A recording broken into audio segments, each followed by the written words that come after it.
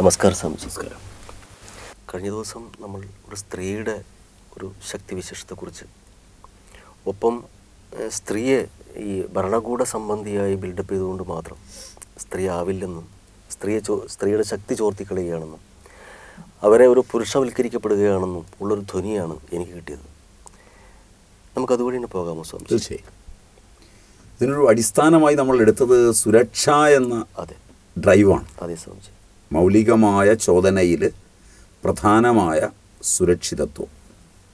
Drive for security ഒരു വ്യക്തിയുടെ സുരക്ഷ പുരുഷനിൽ കുഴപ്പമില്ല. ഒരു കുടുംബത്തിന്റെ സുരക്ഷ സ്ത്രീയുടെ സുരക്ഷയാണ്. സ്ത്രീയിലെയും കുടുംബമില്ല അല്ലേ ഇല്ല. കുടുംബിനി അവളാണ്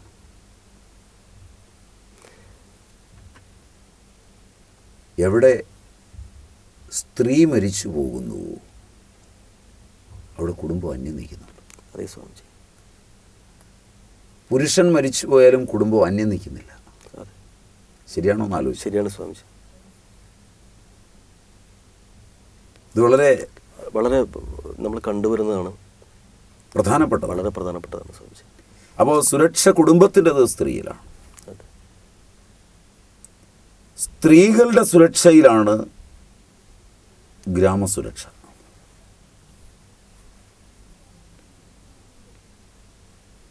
സ്ത്രീയുടെ അല്ല സ്ത്രീകളുടെ സുരക്ഷയിലാണ് ഗ്രാമസുരക്ഷ. പുരുഷന്റെ അല്ല.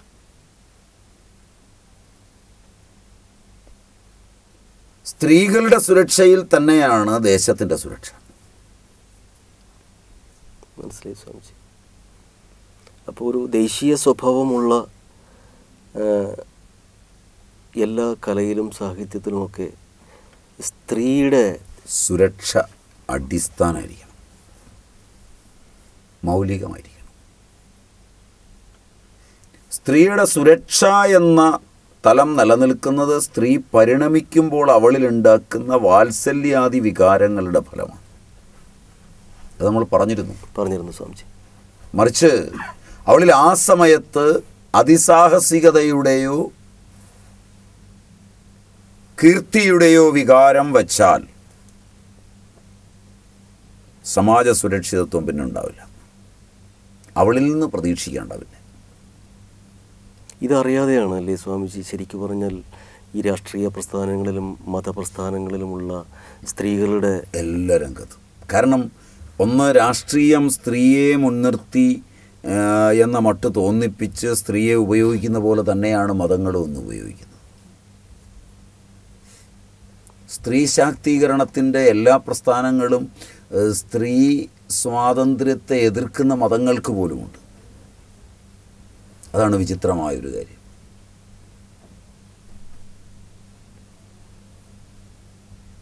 ഇവരൊന്നും വസ്തുത അറിഞ്ഞിട്ടല്ല ഈ പണിക്കൊന്നും നീങ്ങുന്നതെന്നുള്ളത് ചിന്തിച്ചു നോക്കിയാൽ ബോധ്യം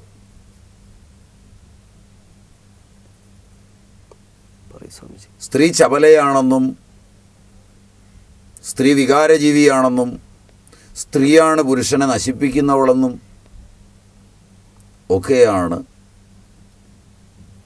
ഇവരൊക്കെ ഒറ്റയ്ക്കും തറ്റയ്ക്കും ഒക്കെ പറഞ്ഞു പരത്തുന്നത്. സംഘടിതമായും. സംഘടിതമായും.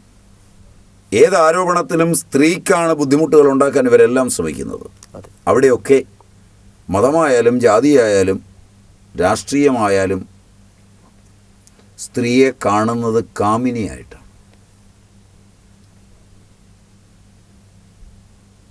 സ്ത്രീയിൽ വിദ്യാഭ്യാസമുള്ളവന്റെ കണ്ണുകളിൽ കാമിനി സങ്കല്പം മാത്രമാണ് ഉള്ളത്. മാർക്കറ്റിന് അതാണ് ഇഷ്ടവും. പാശ്ചാത്യ സംസ്കൃതിയും അതാണ് ഉളവാക്കിയിരിക്കുന്നത്. പാശ്ചാത്യ സംസ്കൃതിയിൽ സ്ത്രീ എന്നും കാമിനിയാണ്. മാതൃത്വത്തെ ഉപ ഉപജീവിച്ച് ഏതെങ്കിലും ഒരു പാശ്ചാത്യ കൃതിയുണ്ടോ എന്ന് അന്വേഷിച്ച് നോക്കുക. മഡോണ എന്നൊരു ചിത്രമുണ്ട്. അത് മാത്രമാണ് നമുക്ക് പറയാവുന്ന കലാരംഗത്തെ ശ്രദ്ധേയമായൊരു സംഭാവന. അത് യേശുക്രിസ്തുവിന്റെയും കന്യകാമാതാവിന്റെയും മനോജ്വലമായ ചിത്രമാണ്.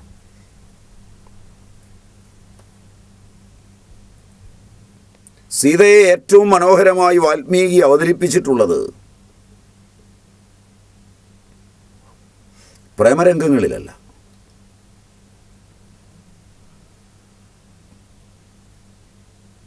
ഒരു പക്ഷേ ലോകകാവ്യങ്ങളിൽ നായകനുമൊത്തും വില്ലനുമൊത്തും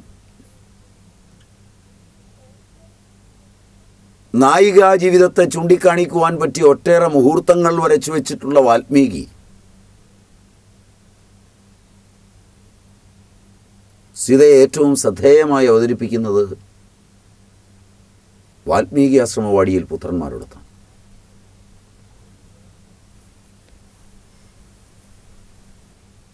കാമുകിയുടെ പകയും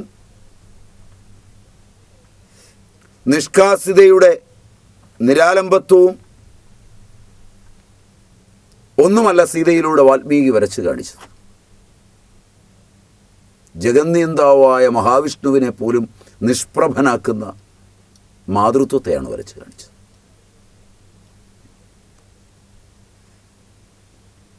അത് ഐതിഹാസികതയാണ് അതെ സ്വാമിജി അതെ സ്വാമിജി. ഭാരതീയ സംസ്കൃതിയുടെ ആഴവും പരപ്പും എടുത്തു നോക്കിയാൽ പ്രാചീനതയിൽ പലപ്പോഴും മാതൃത്വത്തിന് ഈ വലിപ്പം കാണാം. ദാർശനികന്മാരിൽ ദാർശനികന്മാരായവരും ഈ രീതിയിൽ ചിന്തിച്ചിട്ടുണ്ട്. ശങ്കരന്റെ മാതൃപഞ്ചകവും മറ്റും. മറ്റും മറ്റും അമ്മയുടെ മുമ്പിൽ നിസ്സാരനായി നമസ്കരിക്കുന്ന ഒരു സങ്കരനുണ്ട് ആസ്താം താവതീയം പ്രസൂതി സമയേ ദുർവാര ശൂലവ്യത്. നൈരുച്യം തനുശോഷണം മലമയീ ശയ്യാജ സംവത്സരി. ഏകസ്യാവിന ഗർഭഭാര ഭരണ ക്ലേശസ്യയസ്യ ക്ഷമോ. ധാതും നിഷ്കൃതി മുന്നതോപി തനയസ്തസ്യൈ ജനനീ നമ. പ്രസവ സമയത്തെ ശൂലം കൊണ്ട് കൊളുത്തിപ്പിടിക്കുന്നത് പോലുള്ള വേദന അമ്മ അവിടെ ഇരിക്കട്ടെ. അതിന് ഞാൻ പ്രത്യുപകാരം ചെയ്യാൻ എന്റെ ഒന്നുമില്ല. ദോഹതകാലത്തിലെ രുചിയില്ലായ്മ ശരീരത്തിന്റെ ശോഷിപ്പ് അതും ഇരിക്കട്ടെ. അതിനും എനിക്കൊന്നും ചെയ്യാനില്ല. ഒറ്റക്കാര്യം എന്നെ അമ്മ ഗർഭത്തിൽ ധരിച്ചിരുന്ന കാലത്ത് എന്നെയും ധരിച്ചുകൊണ്ട് അമ്മ ചെയ്ത ഭരണക്ലേശം കുടുംബ ഭരണം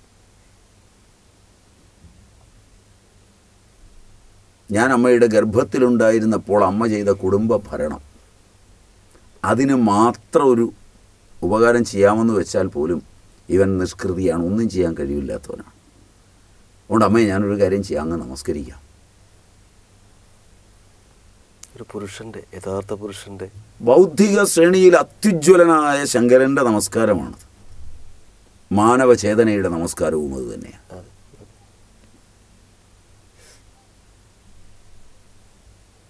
അപ്പോൾ സ്ത്രീയെ ഭാരതം കണ്ടു പോന്നിരുന്ന ശീലി ശീൽ ആ ശൈലി മാതൃത്വത്തിന്റെതാണ് ഇവിടെ ഒരു തെറ്റിദ്ധാരണയുണ്ട്. കമ്പോള സംസ്കാരം ബാലിക കന്യക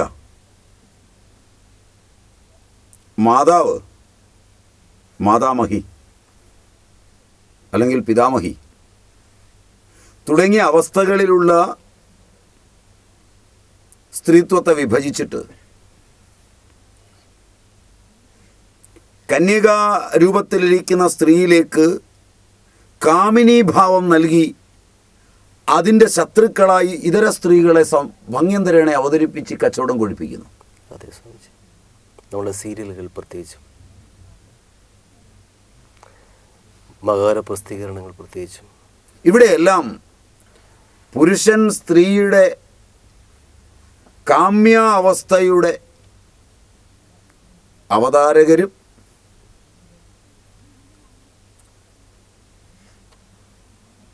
അതിന്റെ ആസ്വാദകരും ഒക്കെയായി മാറുകയും കലാകാരനും സാഹിത്യകാരനും ഭരണാധികാരിയും മതവുമെല്ലാം മത്സരിച്ച് സ്ത്രീകാമ്യാവസ്ഥയുടെ അവതാരകന്മാരും ആസ്വാദകന്മാരുമായി മാറുകയും എപ്പോൾ സ്ത്രീ അവനെ ഉൾപ്പെടെ സൃഷ്ടിക്കുന്ന സൃഷ്ടിയുടെ രഹസ്യമേറ്റെടുക്കുന്ന മാതാവായും മാതാമഹിയായും ഒക്കെ മാറുന്നുവോ? അപ്പോൾ അവൾ തെറ്റുകാരിയായി മാറുകയും ചെയ്യുന്നു എന്ന് അവതരിപ്പിച്ച് സ്ത്രീത്വത്തെ പ്രലോഭിപ്പിച്ച് കാമ്യാവസ്ഥയെ പ്രലോഭിപ്പിച്ച് സമൂഹത്തിൽ സദാചാര മര്യാദകളെ ലംഘിക്കുകയും കച്ചവടത്തെ കൊഴിപ്പിക്കുകയും ചെയ്യുന്നു.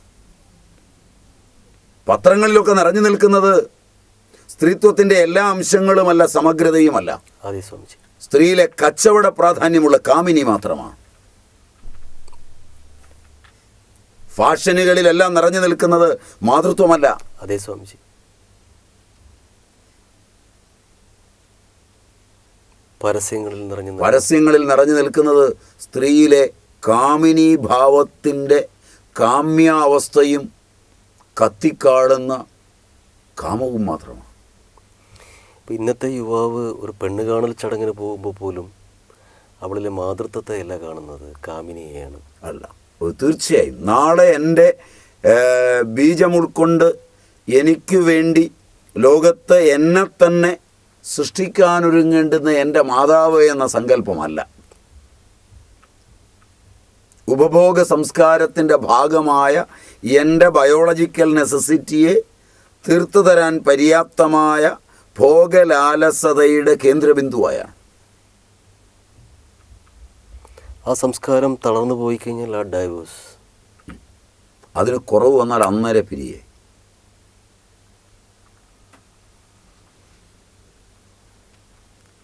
തകരുകയല്ല അതിന് കുറവ് വന്നാൽ അതെ സ്വാമിജി. നാടകവും സിനിമയും. ആ എല്ലാം. എന്നെ സൃഷ്ടിക്കുന്നവളാണ് ജായ.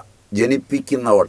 എന്നെ അവളിൽ ജനിപ്പിക്കുന്നു. എന്നിൽ നിന്നുള്ള ബീജം സ്വീകരിച്ച് എന്റെ പുത്രനെ ഞാനായി ആത്മാവായി പുത്രനാമാസി എന്ന പ്രമാണത്തിൽ എന്നെ തന്നെ ജനിപ്പിക്കുന്നവളാണ് അവളെന്ന മാതൃത്വത്തെ സ്വീകരിച്ചാൽ അവളെ മറ്റൊരാൾക്ക് കാഴ്ചവെക്കാനോ മറ്റൊരാളോട് കൂടി അവളെ ആസ്വദിക്കുവാനോ ഒന്നും പറ്റില്ല. ഒരു സ്ത്രീയെയും അങ്ങനെ ആസ്വദിക്കുവാനും ചിന്തിക്കുവാനും കഴിയില്ല.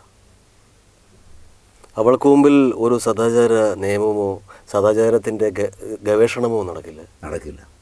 അവളുടെ കണ്ണുകളിൽ നിന്ന് തന്നെ പ്രവഹിക്കുന്ന തീക്ഷ്ണമായ അഗ്നിയിൽ അകലെ എന്ന് പുരുഷനോട് പറയുകയും ചെയ്യും. ഇതിലെ ഇതിലെ എന്ന് വിളിക്കില്ല.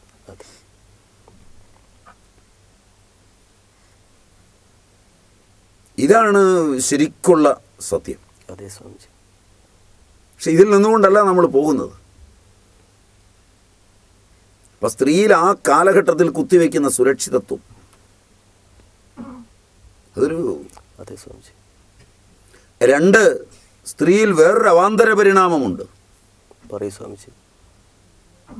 ഒരു നാൽപ്പത് വയസ്സെത്തുമ്പോഴേ. നാൽപ്പത് നാൽപ്പത്തൊന്ന് നാൽപ്പത്തിരണ്ട്. ശ്രദ്ധിച്ചിട്ടുണ്ടോ എന്നറിയില്ല പറയൂ സ്വാമിജി. വളരെയധികം സ്നേഹം. വളരെയധികം വാത്സല്യം. ഇവയൊക്കെ ഭർത്താവിൽ നിന്ന് ലഭിച്ചില്ലെങ്കിൽ സ്ത്രീ മാറും. സുരക്ഷയുടെ ഒരു മറുവശത്തെ കുറിച്ചാണോ സ്വാമിജി പറയുന്നത്? അല്ല. അതിലും കൂടുതലാണ് സ്ത്രീയിൽ മെനോപ്പോസ് എന്നൊരു കാലമുണ്ട്. കേട്ടിട്ടുണ്ടോ എന്നറിയില്ല കേട്ടിട്ടുണ്ട് സ്വാമിജി. ആ പിരീഡ് ആ പ്രയോഗം കേട്ടിട്ടുണ്ട്. സ്ത്രീയിലെ ഹോർമോണുകൾ മാറി മറിയുന്ന സമയമാണ് ഇത് പുരുഷനിലില്ല. അതെ. അപ്പോൾ സ്ത്രീ പുരുഷന്മാർ തമ്മിൽ വ്യത്യാസമുണ്ടെന്നുള്ളതിന്റെ അതെ സ്വാമിജി. ഒരു തലവാ. ഈ മെനോപ്പോസിലേക്ക് സ്ത്രീ കടക്കുമ്പോൾ ഒരുപാട് തരം വൈകാരികതകൾ അവൾക്കുണ്ട് ഗൈനക്കോളജി പഠിച്ച ഗൈനക്കോളജിസ്റ്റ് ആയിരുന്നാൽ കൂടിയുണ്ടോ? കാരണം ഇത് അബോധത്തിൽ നടക്കുന്ന ഞാൻ ഗൈനക്കോളജിയൊക്കെ പഠിച്ചതാണ് എനിക്കതൊക്കെ അറിയാം. അതുകൊണ്ട് ഒരു കാര്യമില്ല പുരുഷനിൽ അകാരണമായ സംശയങ്ങളുണ്ടോ?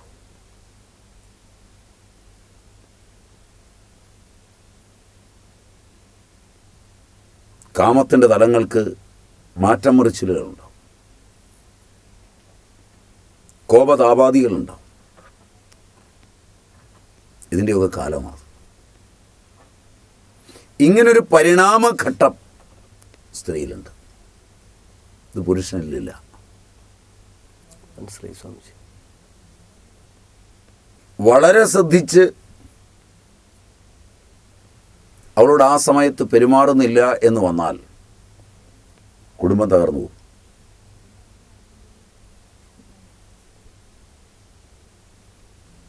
ആ സമയത്ത് വന്നു വീഴുന്ന ഓരോ ശബ്ദവും ഓരോ കാഴ്ചയും അവളുടെ നേർക്കാഴ്ചകളെ തകർത്ത് കളയും. ഇരുപത് വയസ്സിൽ കല്യാണം കഴിച്ചൊരു സ്ത്രീ. ഇരുപത് കൊല്ലത്തെ ദാമ്പത്യം കഴിഞ്ഞ് നാല് കുട്ടികളുള്ളവൾ. ആ പീരീഡിലെത്തി നിൽക്കുമ്പോൾ അതുവരെ ഫോറിനിലായിരുന്നൊരു ഭർത്താവ്. എല്ലാം ഇവൾക്കായി സമ്പാദിക്കുകയും കൊണ്ടക്കൊടുക്കുകയും ചെയ്തവൻ. ബാങ്ക് ഡെപ്പോസിറ്റുകൾ വരെ ഇവളുടെ പേരിൽ. അവൻ തിരിച്ചെത്തുമ്പോൾ ആ കാലത്ത് അവൾ കാണുന്ന ഒരു സീരിയലിൽ വില്ലനിയുള്ളൊരു നായകനായൊരു യുവാവ് ഫോറിനിലിരുന്നു കൊണ്ട് അവന്റെ ഭാര്യയോടുള്ള സ്നേഹമില്ലാതെ ഫോറിനിലൊരു സ്ത്രീയോട് ബന്ധപ്പെടുന്നതാണ് കഥയെങ്കിൽ തന്റെ മുമ്പിൽ കാണുന്ന ഭർത്താവ് അതാണ്. അയാളോട് പൊരുത്തപ്പെടാൻ പറ്റില്ലെന്ന് മാത്രമല്ല അയാളുടെ സന്താനങ്ങളോടും പൊരുത്തപ്പെടാൻ പറ്റില്ല. കുടുംബജീവിതം അസ്വസ്ഥമാവും. സ്വസ്ഥത നശിക്കും. രോഗങ്ങൾ വർദ്ധിക്കും ഇവൾക്ക് മാത്രമല്ല അവൾ ജീവിക്കുന്ന അന്തരീക്ഷത്തിലും കൂടി. മനസ്സിലായി സ്വാമിജി. അയലോക്കംകാർ ചെന്നിരുന്ന് വർത്തമാനം പറയുമ്പോഴൊക്കെ പുരുഷനെ വിശ്വസിച്ചുകൂടാ എന്ന സന്ദേശങ്ങൾ ചെല്ലുമ്പോൾ കൊച്ചു പെൺ പെൺകുട്ടികളൊക്കെ നശിക്കും. ഇവളുമായി സമ്പർക്കം പുലർത്തുമ്പോൾ.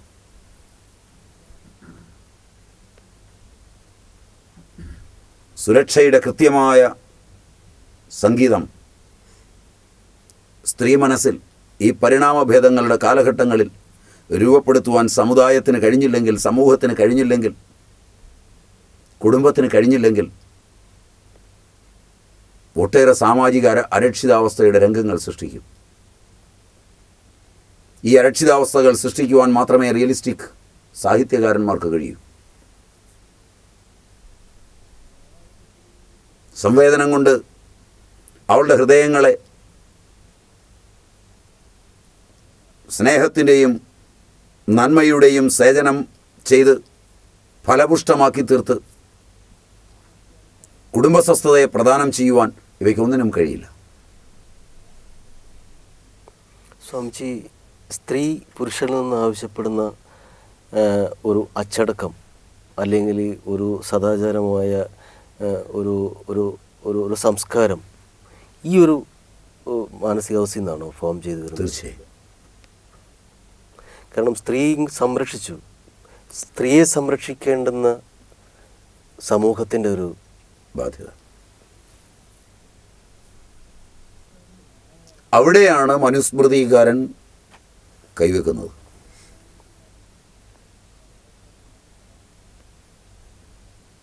വളരെ ചരിത്രപരമായൊരു കൈവെക്കലാണ് അദ്ദേഹം വെക്കുന്നത്. മനസ്സിലായി സ്വാമി വളരെ മനഃശാസ്ത്രപരമായൊരു കൈവെക്കലാണ് വെക്കുന്നത്. വളരെ നിയമപരമായൊരു കൈവെക്കലാണ് വെക്കുന്നത്. നിയമഗ്രന്ഥമാണ് മനുസ്മൃതി എന്നറിയുമോ സ്വാമിജി ഒരിക്കൽ പറഞ്ഞു കേട്ടിട്ടുണ്ട്. അത് നിയമഗ്രന്ഥമാണ്. നിയമം ഇന്റർപ്രട്ടേഷൻ കൊണ്ടാണ് മനോഹരമാകുന്നത്. എല്ലാ നിയമവും വ്യാഖ്യാനം കൊണ്ടാണ് സത്യമായിത്തീരുന്നത്. നിയമത്തിന്റെ വ്യാഖ്യാനമാണ് നിയമമെന്ന് നാം പറയുന്നത് തന്നെ അതെ തെറ്റായും വ്യാഖ്യാനിക്കാവുന്നതാണ് നിയമം. ഭൂരിപക്ഷം വരുന്ന ഒരു ജനത ന്യൂനപക്ഷത്തെ പീഡിപ്പിക്കരുത് എന്നുള്ളത് കൊണ്ട് എഴുതി വെക്കുന്നതാണ് ന്യൂനപക്ഷ അവകാശം അത് വക്കീലന്മാരും ജഡ്ജിമാരും വ്യാഖ്യാനിച്ച് ശരിപ്പെടുത്തി ന്യൂനപക്ഷത്തിന് ഭൂരിപക്ഷത്തെ പീഡിപ്പിക്കാനുള്ളതാക്കി മാറ്റിയാൽ ഇന്നത്തെ അവസ്ഥയിലെത്തും. നിയമനിർമ്മാണം ചെയ്തവന്റെ തെറ്റല്ലത്. മനസ്സിലായി സ്വാമിജി. വ്യാഖ്യാനത്തിന്റെ വൈകല്യമാണ്. മനുസ്മൃതിക്കും ഈ വ്യാഖ്യാന വൈകല്യങ്ങൾ ധാരാളം വന്നിട്ടുണ്ട്. സ്ത്രീയെ സംബന്ധിക്കുന്ന ഒട്ടു വളരെ കാര്യങ്ങളുള്ള സ്ത്രീ സ്ത്രീ പുരുഷ ഭേദത്തെ അംഗീകരിച്ചുകൊണ്ട് മനഃശാസ്ത്രപരമായും ജൈവശാസ്ത്രപരമായും ഒക്കെയുള്ള സ്ത്രീ പുരുഷ ഭേദങ്ങളെ വസ്തുതാപരമായി അംഗീകരിച്ചുകൊണ്ടുള്ള ഒട്ടേറെ കാര്യങ്ങൾ ആ ഗ്രന്ഥത്തിലുണ്ട്. ഗൃഹ്യസൂത്രങ്ങളിലുണ്ട്. പാരാശര ഗൃഹ്യസൂത്രം തുടങ്ങിയ ഗൃഹ്യസൂത്രങ്ങളിലുണ്ട്. അതുകൊണ്ട് സ്ത്രീയെ ഒരു സ്ത്രീയിൽ വൈകാരികമായ തലം രൂപാന്തരപ്പെടുമ്പോൾ പുരുഷ ശരീരത്തിന് ആർത്തവമില്ല സ്ത്രീ ഉണ്ട് സ്വാമിജി ആ സമയങ്ങളിൽ ഇരുപത്തിയെട്ട് ദിവസങ്ങൾ ഒരു ചക്രം. ഏറ്റവും രസകരമായത് ഇരുപത്തിയെട്ട് നക്ഷത്രങ്ങളാണുള്ളത്.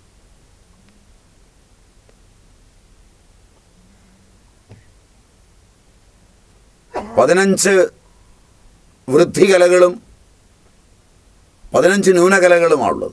അറിയാമെന്ന് തോന്നുന്നു. ചന്ദ്രന്റെ. ആ അതറിയാം. പക്ഷങ്ങൾ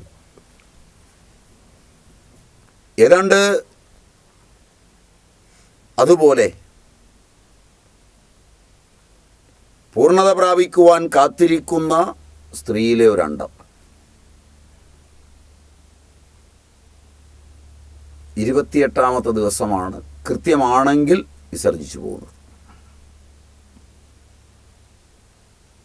ആർത്തവ ചക്രം എന്ന് പറയും. അതെ സ്വാമിജി. നാളെ ഭൂമിക്ക് സൃഷ്ടിയായി തീരേണ്ട ഒന്നിനെ മസ്തിഷ്കത്തിൽ താലോലിച്ച്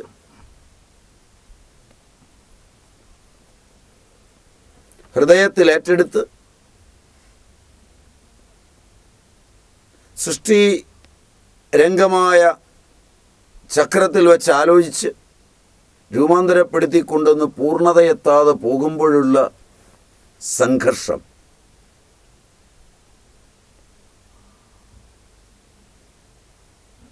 ആധുനിക വിദ്യാഭ്യാസമുള്ള സ്ത്രീകൾ പോലും മനസ്സിലാക്കുന്നില്ലെങ്കിൽ. മനസ്സിലായി? മനസ്സിലായി സ്വാമിജി. അപ്പോൾ സ്ത്രൈണതയിലൊരു സംഘർഷമുണ്ട്. ഓരോ ഇരുപത്തിയെട്ടാം ദിവസവും. ശരിയാണോ? ശരിയാണ് സ്വാമിജി. ഓരോ ഇരുപത്തെട്ട് ദിവസവും ഈ സംഘർഷം സ്ത്രീ അനുഭവിക്കുന്നുണ്ട്. ഒരിക്കലല്ല.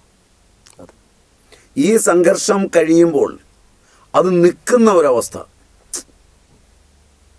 ആർത്തവചക്രം നിലയ്ക്കുന്ന ഒരവസ്ഥ.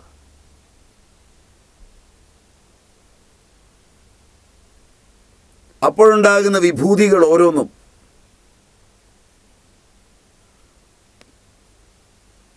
അതിനെ അടുത്തറിഞ്ഞ് അവളിൽ സുരക്ഷിതത്വത്തിന്റെതായ സംഭാവനയെ ചെയ്യാൻ ബാധ്യസ്ഥമാ സമാജം.